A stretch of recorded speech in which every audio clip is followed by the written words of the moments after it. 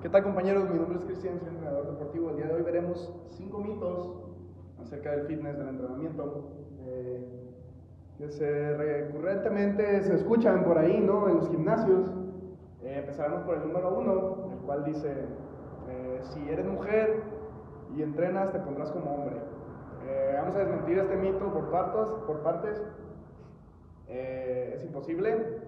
Genéticamente tenemos diferencias hormonales, estructurales, y es imposible que una mujer se ponga como hombre, a menos que ésta esté usando farmacología. Eh, esa, sería, la única manera en la que una mujer podría empezar a tener cambios notorios, los cuales son cambios de voz, cambios en la estructura, eh, vello facial. eh, por ejemplo, en la estructura nos referimos a, am- o- hombros más anchos, me disculpa, me trabo, eh, etcétera, etcétera, etcétera, ¿no? Eh, una mujer produce mucho menos testosterona que los hombres. Esto no quiere decir que no pueden tener resultados, claro que, lo- claro que los pueden tener, pero tardan muchísimo más tiempo ¿no? en obtenerlos. Muy bien, vamos al segundo mito. Hacer abdominales crema, quema grasa focalizada ¿no? en el abdomen. Eh, es un mito totalmente falso. Esto no es real. Es imposible que porque tú trabajes un, un musculares quemes grasa focalizada, ¿no? Localizada en esos lugares. Por ejemplo, si yo me pongo a hacer curls de bíceps, no voy a definir mis bíceps. En realidad voy a trabajar mis bíceps y hasta ahí, ¿no? La grasa eh, es genética, tiene algo que ver genéticamente. Puede que tú retengas más grasa en la parte abdominal, casi todos los humanos es así. Pero es cierto que en algunas partes se tiende a retener más grasa que en otros lados, por ejemplo los glúteos. Los glúteos son uno de los músculos que más grasa eh, contiene, retienen, eh, debido a su tamaño y pues debido a que el cuerpo es sabio, ¿no? Este, requiere ciertos niveles de grasa para sobrevivir, ¿verdad? Tampoco estar 3% todo el año es, es muy sano, digamos, ¿no? Entonces, lo único que te puede hacer bajar de grasa es la dieta, ¿no? La dieta y un déficit calórico prolongado en el tiempo, ¿no? Es la única forma en la que puedes bajar el porcentaje de grasa de manera general, ¿no? No puedes quemar grasa de manera focalizada. O sea, si yo quiero perder grasa aquí en esta parte del antebrazo, haciendo curls de antebrazo, no lo voy a conseguir. Necesito hacer, llevar ciertos parámetros de la nutrición eh, a otro nivel, controlar y buscar sus objetivos, claramente, nada es gratis, todo se sufre. Adelante, ¿no? Vamos por el tercero. Cardio igual a perder peso.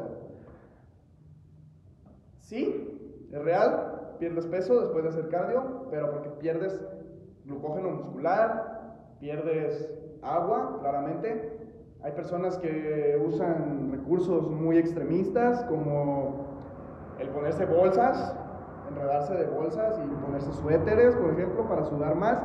Eh, en realidad, solo lo que estás haciendo es perder agua, ¿no? Y más si es un cardio moderado, zona 1, zona 2, pues sí, a la larga, depende también del tiempo, eh, pues va a generar cierta, cierto estímulo de consumo de energía, pero a fin de cuentas, ese peso se va a recuperar cuando vuelvas a hidratarte, ¿no? Este, el cardio no es igual a perder peso. También si es un cardio muy excesivo, por ejemplo, de un, de un maratón, claramente tu, si estás entrenando así como para un maratón, claramente tu estructura va a tener un cambio radical, ¿no? Este, vas a ser delgado, aerodinámico, una mejor gestión de la energía para poder completar esas distancias, ¿no? Por ejemplo, pero en sí el cardio sí es una herramienta, sí puedes perder peso.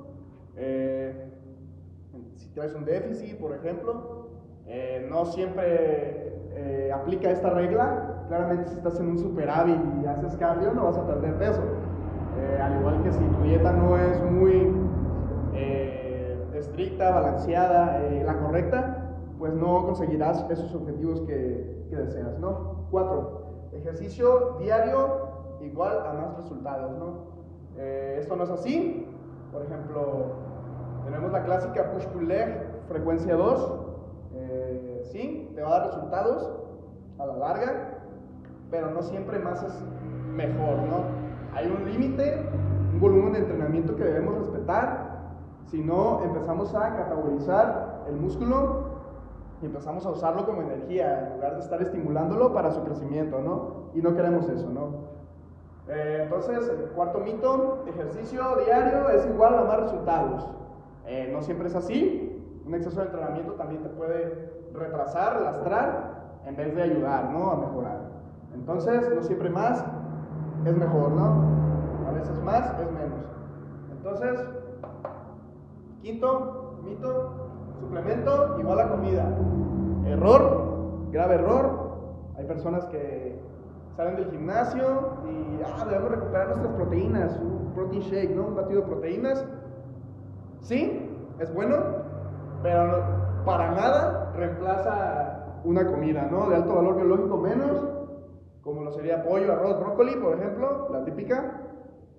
Los suplementos no sustituyen a ningún tipo de comida, Claramente los suplementos nos ayudan, por ejemplo, para obtener 5 gramos de creatina en nuestra dieta necesitamos comer aproximadamente entre un kilogramo y kilogramo y medio de carne, entonces ahí sí entraría eh, la suplementación, pero para nada sustituye la alimentación, ¿no? La alimentación siempre es primordial, ¿no? Este, obtener nuestros macronutrientes, micronutrientes de comidas de alto valor biológico nunca va a reemplazar a los suplementos, ¿no? Bueno, pues son los cinco mitos que quería hablar. Quería hacer un, un video diferente. Quería que cambiara un poquito la dinámica de lo que hablamos en este canal. Muchas gracias por ver el video. Espero te haya gustado. Dame un like si te gustó. Y si no, pues nos vemos ahí en el otro. Hasta luego. Gracias por su atención.